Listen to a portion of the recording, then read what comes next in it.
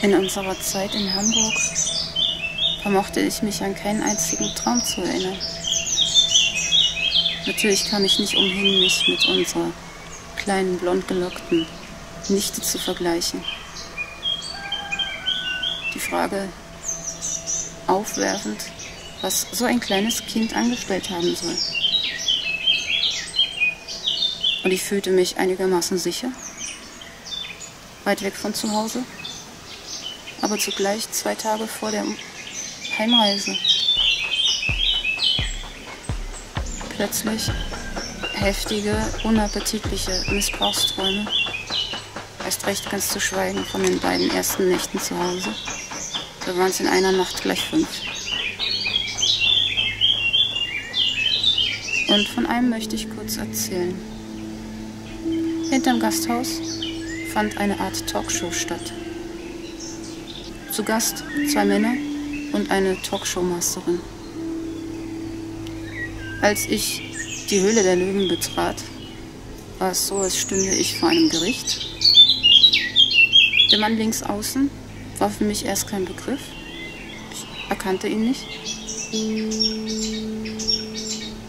Aber er sollte eine tragende Rolle in meiner Kindheit gespielt haben. Er erzählte mir, mich nicht erinnern könne an ihn damals bei dieser Fete in den 80ern. Es war völlig normal in der Traumlogik, dass er untenrum nackt war. Und er hatte einen Eiswürfel in seinem Pimmel stecken. Da kam ich an mit sechs Jahren plus minus und hätte ihm angeboten, mit meinen viel feineren und kleineren Fingern diesen zu entfernen, weil er es selbst nicht geschafft hat. Also gesagt, getan. Den Eiswürfel zwischen den Fingern, steckte ihn mir in den Mund, schleckte ihn sauber, rundete mit meiner Zunge die Kanten ab, um ihn dann zurechtgeschneidert wieder in seinen Penis einzuführen.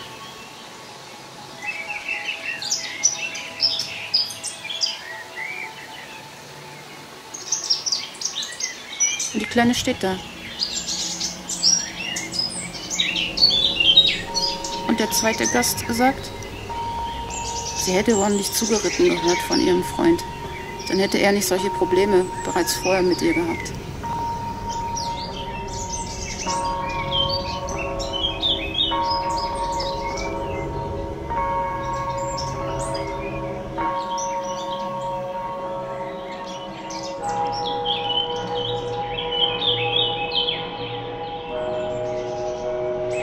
Ich habe Flashback.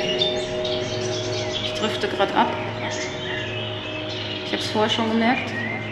Den Geschmack auf der Zunge. Jetzt würde ich Müsli essen. Und jetzt passt alles. Ich habe davon schon geträumt. Die ganzen Weidensamen, die da runtertreiben. Der Gartentisch mit der gelben Decke drauf. Das habe ich alles schon genauso geträumt.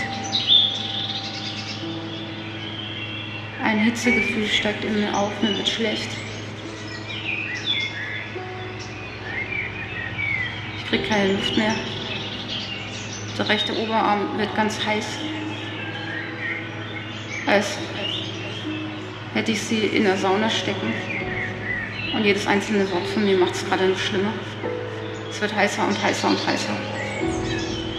Ausgelöst wird das Ganze durch ein Gefühl in der Nase und das Anmachen von dem Rasenmäher da hinten.